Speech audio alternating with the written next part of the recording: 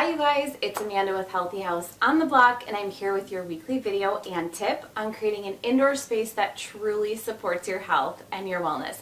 This week we're going to do a toxin deep dive and it is on the VOC formaldehyde. So formaldehyde is everywhere. Honestly, when you start to look at the products, materials, and places that it's found inside your home, it's a toxin that we are being exposed to frequently and in large volumes. And so it's something that we can really pay attention to to change the inside of our space. The more formaldehyde that we can remove from our space, the less burdened down our body is by this particular toxin. And one of the most concerning things about formaldehyde is that it is a carcinogen. This means that it can increase the risk of cancer in some individuals. And so it's really something I like to pay attention to in homes, even going so far as to have a formaldehyde test done on your indoor air. So we're going to talk about everything you need to know about where formaldehyde is found in your home and how to start reducing it. I have seven very simple ways that you can start cutting it out of your home completely.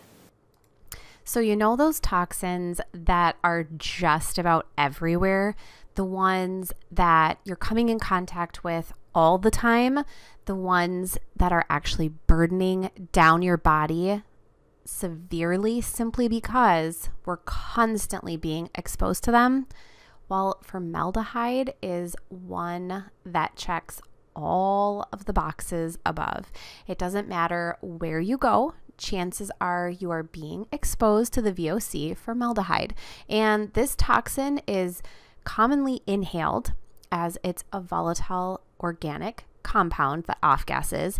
And what happens in our homes is that the off gassing toxins have no place to go without proper ventilation in our homes, which I should mention, we get very little ventilation in most of our homes. Formaldehyde actually builds up in the interior air, making our indoor air quality very, very poor when we look at a toxin such as formaldehyde, I think it's important to know more than just how to avoid it. It's important to know why it's used because this ultimately is going to help you understand when to look for it in products and materials. It's also really important to know what it does to the body. Without knowing this, you may not be convinced it needs to be removed from your home in the first place. So let's go on a deep dive of formaldehyde and start getting it out of your home today to answer the question, what is formaldehyde or what is formaldehyde used for, you first have to know what it is in the first place. So, formaldehyde is a naturally occurring compound. It is considered a gas and it is not able to be seen by the human eye.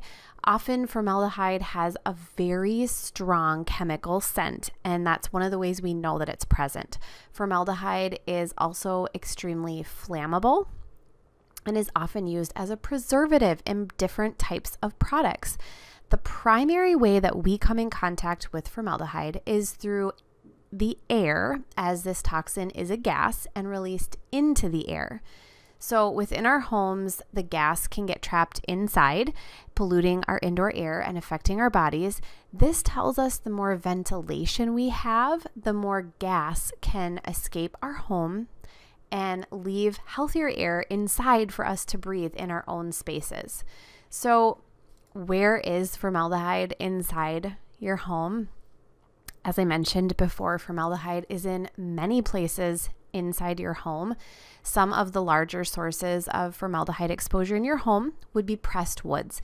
So, this would be plywood, manufactured woods, MDF, or medium density fiberboard, particle board and chipboard. And if you look around your home, you are going to see so much of this. These types of woods are often found in the structure of our homes as well as in our furniture that we bring into our homes. Formaldehyde is used in the adhesive application to these manufactured woods, which can be very toxic to our bodies. Formaldehyde is also used in any sort of resin product that you have in your home. So, this could be furniture, it could be decor, or it could even be within your countertops.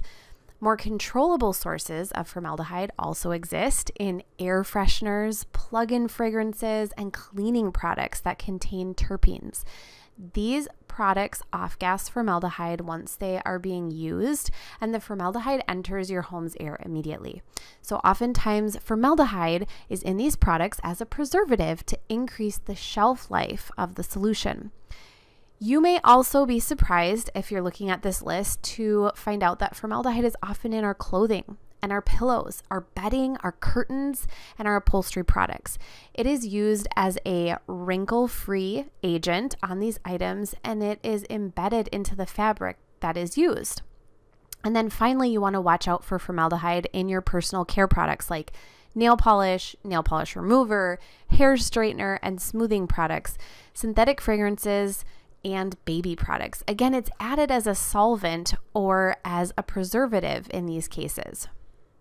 So, one of the great ways that you can really help your home is to actually measure or monitor the formaldehyde. So, because formaldehyde is a VOC and because it is not able to be seen, to measure the amount of formaldehyde in your air, you would have to use a special tool. You can opt for an indoor air quality, such as the Wave Plus that I have here which will help you monitor the indoor air at home. If you head to the blog post, I have a discount code for you. If this is something that you're wanting to bring into your own home, it monitors several different toxins and climate changes in your home that we want to pay attention to when we're talking about a healthy home. So it's going to usually detect other issues that can be present in your home, like combustion gases, and it can also detect high humidity levels and radon. So, overall, these are a very helpful item to purchase for your home to monitor your indoor air if you're looking to improve any of those levels. There's another option though, and you could do an at home formaldehyde test that you'd be able to get the result of right away. I can mail it to you. It can be used once and in one room, but it could give you some insight into your home's air. It will tell you the level of formaldehyde inside your space and provide you with insight on this particular toxin. Because we know the answer to what is formaldehyde used for, we know that it is prevalent in homes and the levels could be potentially high. So, when we're looking at what is formaldehyde in our homes, our health is at the center of the answer. Formaldehyde is a known carcinogen, meaning it can cause and increase the risk of cancer in some individuals.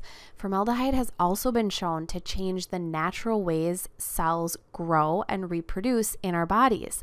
This toxin also causes lower than normal count of white blood cells in humans as a result of chronic exposure, which means we're being exposed all the time. Another effect of chronic exposure to formaldehyde is that it does affect the reproductive system and causes toxicity to those who otherwise have a healthy reproductive function.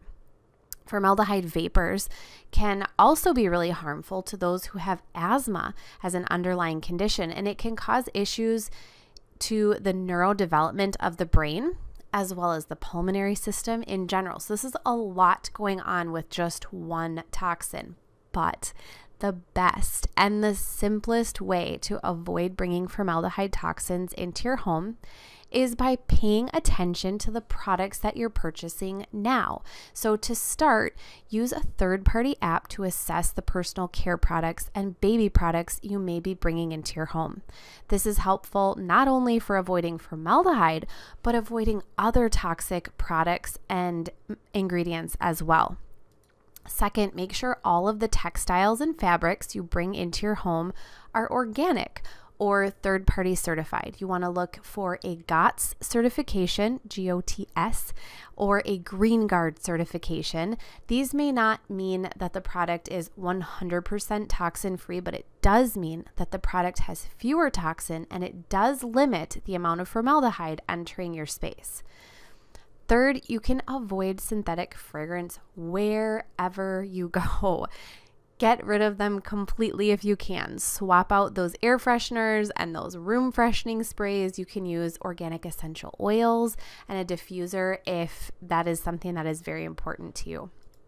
Fourth, you'll want to pay attention to any furniture you purchase, so opt for hardwood pieces that don't contain any sort of manufactured woods or any added adhesives or glues. So, this can be tricky, but being less impulsive and purchasing items only when you need it and after you've done research is key. Used furniture can also be a really great way to go. Fifth, I really like pointing out that you can add an air purifier that is specifically for removing toxins like formaldehyde from your home. In our home, we use Medify Air. It is a medical grade purifier filter that removes formaldehyde and other toxins and there's more information on my website as along with my discount code and then the sixth thing you can do is any area of your home that is impossible to change, so think plywood, sheathing, subfloor, things that are going to stay in your house, you can actually use a formaldehyde VOC blocking sealer, such as the one here from AFM Safecoat. It is a paint on solution that will ensure that the toxins are contained and cannot off gas. And then finally, avoid products with these ingredients. I have these listed on the blog so you can take it with you if you're going to go shopping, but these are all ingredients that will contain formaldehyde. So, even doing one of those things will help you reduce the levels of formaldehyde inside your home. And each small change will help unburden your body and create a healthier space at home. As always, thank you so much for being here. I appreciate you, and I hope you'll subscribe to my channel because I am here every week with a healthy house tip on creating an indoor space that truly supports your health and your wellness.